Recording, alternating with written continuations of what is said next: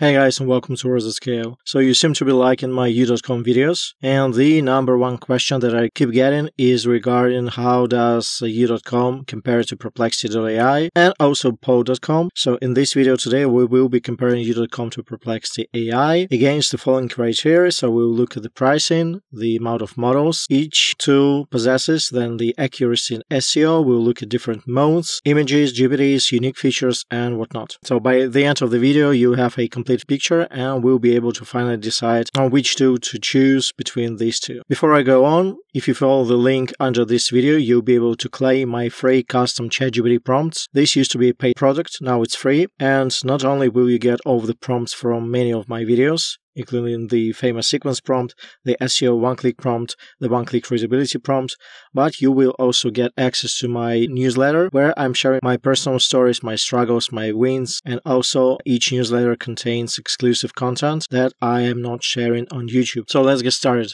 So the first one is kind of obvious. This is pricing. Perplexity AI is gonna cost you 20 bucks per month, whereas You.com is only 15. So in this regard, You.com is a clear winner. It's very inexpensive. Next, let's look at the models. We go to Perplexity settings. We have one, two, three, four, five models, including the default one. This is going to be the sixth one. So we have Sonar Large 32K. We have the newest GPT-4o. We have the GPT-4 Turbo, and then Claude 3 Sonnet and Claude 3 Opus. And I don't see Haiku here, and it's kind of confusing because every time I check on these models inside of Perplexity, I get a different list of models. So they keep shuffling this up. I don't know why, but but it is what it is, six models. However, if we go to you.com, you have a whole suite of models. So we have the GPT family, three, then Claude, another four, so this makes it seven, Llama 8, Gemini 8, 9, 10. So 15 models in total. And we have some very unique models like Dolphin, which is the uncensored model. We have the command R, which gives you the longest output, and all the major models are present for 15 bucks per month. So 6 in Perplexity versus 15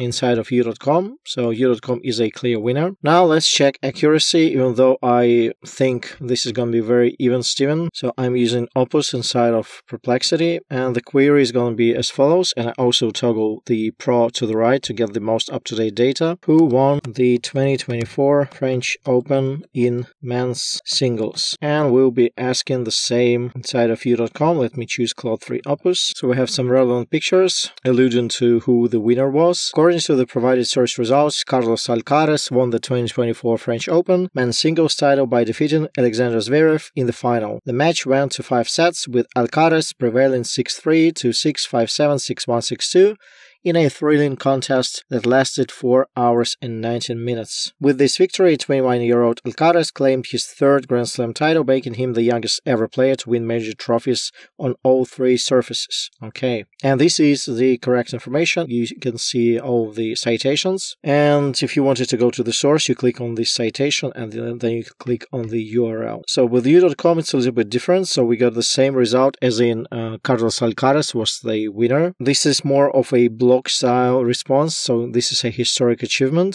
This talks about how this is important. Then talking about the match details, the context in which the tournament was being carried out. And if you wanted to check the sources, you could click here and also go to the sidebar on the right and I prefer this way of checking the citations. And even though I like the response of you.com better, I think uh, this is a tie, so they both are accurate. Now for the SEO, this is going to be my favorite one-click SEO prompt available in my ChatGPT library. So you go to one-click SEO prompts and this is the actual prompt. It takes data from Neuron Writer, the outline, the LSI keywords, and I'm also including my own links. So let's start a new thread. Let's attach a file. The file is links.txt, and this is referenced in the prompt itself. And once again, I'm asking Perplexity to write a 2000 word article using this outline. Then I'm asking it to use these NLP keywords, and finally insert three to five relevant internal links. And obviously, I'll do the same with you.com.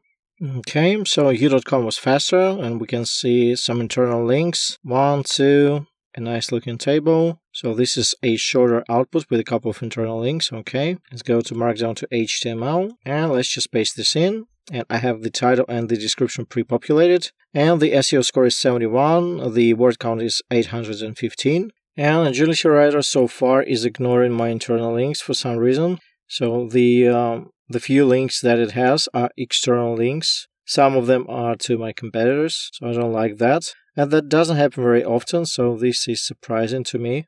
So I'm yet to see a single internal link. Usually it's not like that, but uh, we are testing the SEO score and not the internal linking capabilities. So as you can see, a bunch of external links, but no internal links at all. Okay, the score to beat is 71. Let's see. And this is 76 and 812 words. So a better effort, but unfortunately no internal links. And the word count is very comparable, so I would have to give it to both. So even though You.com showed a um, lower SEO score. It didn't include internal links. And to be quite honest, I would have to run this prompt with each of the tools uh, maybe three to four times and then take an average.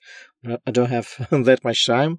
So let's just say they are pretty even, and they should be because they're using the same LLM, Claude 3 Opus. Now let's look at the modes, which is a more interesting comparison. Let me close down the Neuron Writer. So for the modes, Perplexity has some unique ones. So uh, the all that I'm using like 99% of the time, then the academic, for academic papers and research than the writing mode that uh, is slightly better at writing and provides a longer output but is not connected to web and I have no idea why that is. Then there is the Wolfram mode that is used for computations, then YouTube that has access to YouTube videos and Reddit. So I use Reddit to look at testimonials, uh, software reviews, even some keyword research and sub niches. So this mode is very valuable. And let's just say Perplexity has six modes. Now back to you.com. We have the smart mode, which is the quickest one, most reliable for majority of your day-to-day tasks. Then we have the genius mode for complex reasoning, the research mode with uh, in-depth citations, and then the creative mode where you can generate your images, logos, infographics. And yeah, genius mode also works as a data scientist, so you would do your computations here. So just on paper, formally, you.com has four modes, and I have no idea uh, which one is better because uh, you have the creative mode that I absolutely love. I love the uh, in depth research mode, but Perplexity has access to YouTube that uh, you.com does not. So it's a coin toss, uh, and I would have to give a slight edge to Perplexity. Now to the images. So Perplexity is notorious for not having a great image generation feature. Having said that, they do give you access to three of the different uh, image models. So Playground 2.5, DALL-E 3 and Stable Diffusion XL that you can choose from. So let me choose DALL-E 3. And the way it works, uh, this is the article that we've just generated. You go to generate image and you can choose whatever fits the topic of your generation. It will address that. This is an image depicting Agility Writer AI on a piece of paper. But also, not many people know that if you click on generate image and then go to this uh, tool icon, you can use custom prompts. So if I wanted to have a Labrador for some weird reason, I would go cinematic style, for example, and then sitting Labrador. I would go submit, and this way I can generate another image that either is not related to the topic that I've just generated or is something very specific that the AI by default is not generated or provided. This image is pretty nice. With you.com, uh, it's very seamless. So let's just say this is the article we've just generated. I don't have to change anything. I don't have to, to change the chat that I'm in. I just go creative and generate a cinematic image of a sitting Labrador. And this is a very simple example. I can uh, generate logos, I can generate diagrams, and the chat remains the same. So if I were to share this to somebody else, my editor, for example, or a VA, they will have access to everything, both the text and the image. And this is the image. It's equally good. I can regenerate it, I can download it, and it looks good. Looks good. So again, it depends on your taste really. Uh, for the UX, I would give a slight edge to you.com. For the sheer option of choosing between three different AI image models, I would choose Perplexity. And I would say they, they are pretty even. Still, not a huge, huge difference. Now to the GPTs. If you wanted to use your custom agent, you would go to Library, then Collections. Start a new collection. You can title your collection as you should, use a custom emoji or a picture, then describe it, and then use a prompt. And uh, you either make it shareable or non-shareable. And as you can see, I've got uh, quite a few collections, Outline Genius, the writing style, the EAT Guru, LSI Extractor, and so on and so forth. One of the downsides is that you obviously leave the initial chat you're in. And so the another downside is that uh, different prompts work best with different LLM models. So for example, the LSI Extractor works best with GPT-4, whereas the writing style works best with Claude, and I would have to change the LLM manually inside of the settings each time. But with uh, You.com, you can assign different LLMs to different uh, assistants. So if you watch my previous videos, uh, I usually do that that way. So this assistant is called Brand Voice, and I'm using Opus, but I can just as easily create another one, naming it Brand Voice GPT-4, or I can just go Edit Assistant and change the model to whichever one I want. And again, it's very seamless. Within this chat, I can switch to brand Voice Opus. So I would have to, again, it's a coin toss.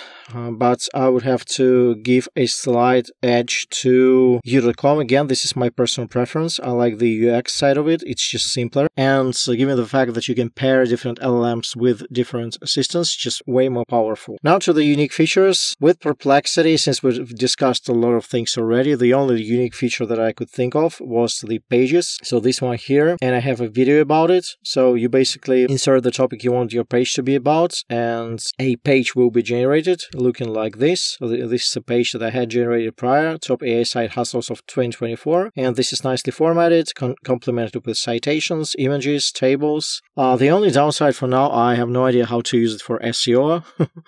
It would have been great for parasitic SEO if this was ranking. This is not ranking for now, and I cannot really publish this uh, anywhere else, like on my blog, for example. But this is a nice feature. I'm sure we'll see more and more use cases in the future. With You.com, the only thing that I could think of was the apps. So if we go to YouImagine, for example, we can see that uh, there is an image generator that you can uh, change the quality of generations, use preset styles, and there is a uh, resolution enhancer as well. And there is a bunch of different uh, agents uh, that I haven't, apps that I haven't even touched upon. So this is a nice feature that I will probably record a separate video about. So all in all, again, uh, both have unique features and uh, I'm leaning towards Perplexity. So I think Pages is a better unique feature than apps but then again, uh, maybe I'm not uh, using the apps correctly. Now, the final two, the memory feature. This is easy. With You.com, it's very similar to ChatGPT. You go to personalization, and then you have You.com store all of your important information about you, your business, your aspirations,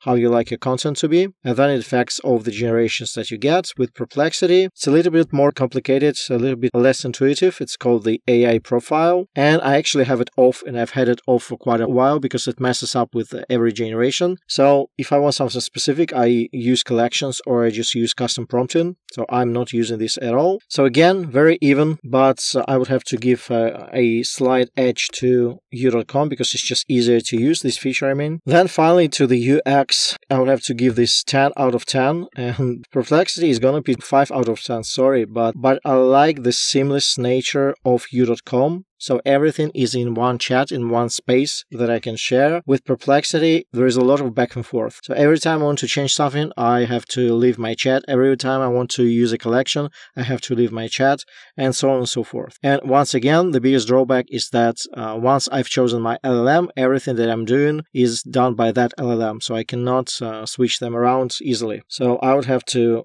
give a nudge to uh, you.com. So let's count so just the blue ones. One, two, three, four, five, six, seven, eight. And with perplexity, it's one, two, three, four, five. So again, formally on paper, quote unquote, you.com is a winner, and I think this is a better suited tool for beginner bloggers and SEOs. The one of the reasons I'm not canceling my perplexity account is because of the modes so I really like the Reddit mode and YouTube mode. So this is kind of a deal breaker of sorts. So uh, once You.com gets access to YouTube, this is going to be all over probably for Perplexity for me uh, because You.com uh, for 15 bucks per month lets you play around with 15 models. The experience is seamless. You can generate images, you can write, you can do your research, you can code, and I've done that. And yeah, it's very inexpensive. And yeah, so don't forget to sign up for my custom ChatGPT prompts library, which will also sign you up for my newsletter that will be issued on Thursday. Hope this was helpful. I love you guys. I appreciate you guys, and I'll see you next time. Cheers.